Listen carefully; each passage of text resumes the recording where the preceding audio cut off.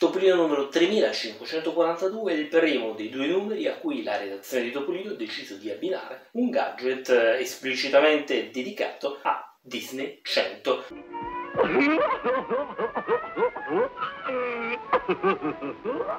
Il motivo di questa scelta è sostanzialmente perché il 16 ottobre del 1923 Walt e Roy Disney fondarono quella che è oggi nota come la Disney. Sul numero di cui stiamo parlando adesso e di cui state vedendo l'unboxing è allegato un francobollo di metallo. Onestamente l'ho trovato un bel oggettino che probabilmente non penso di togliere dal suo cartoncino dedicato. Adesso aspettiamo la statuina di Topolino nelle vesti del personaggio di Steamboat Willie per completare così questi festeggiamenti. Inoltre su questo numero è stata pubblicata anche l'ultima storia della serie Once Upon a Mouse in the Future a cui dedicherò un video a parte, per a maggior ragione vi invito a iscrivervi al canale e attivare la campanella per ricevere notifiche su tutti i nuovi video caricati.